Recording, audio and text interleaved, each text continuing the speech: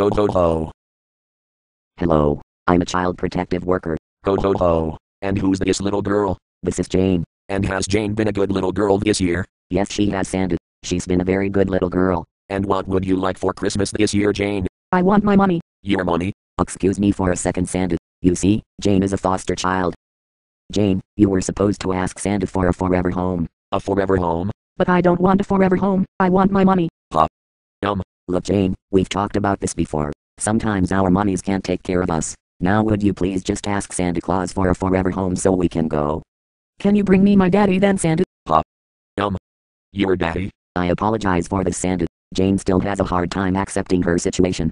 Well, I usually don't get involved into this sort of thing. I thought I could ask for whatever I wanted. Look, kid, most other kids just want a toy. Please excuse her, Santa. She's been through a really difficult time. I can see that. So are you going to help me out or not, Santa? Wouldn't you rather have a teddy bear? No, I want my money. Your money? Yes, my money. I'm sorry, Santa. I honestly didn't expect this. Neither did I. Perhaps we should do this another time. Yes, it is a little awkward, to tell the truth. Come along, Jane. Please bring my money to me, Santa.